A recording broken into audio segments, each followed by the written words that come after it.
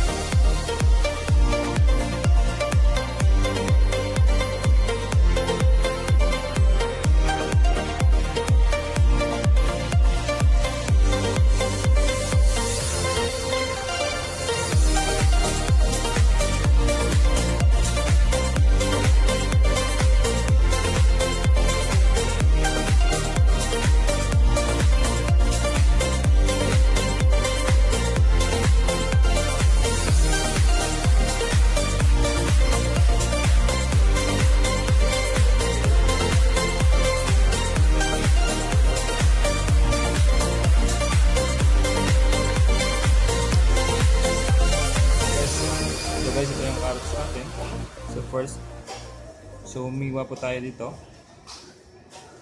And then, the other side, counter. And then, the other side po, guys. So, sa baba po. So, tayo, huwag na natin ito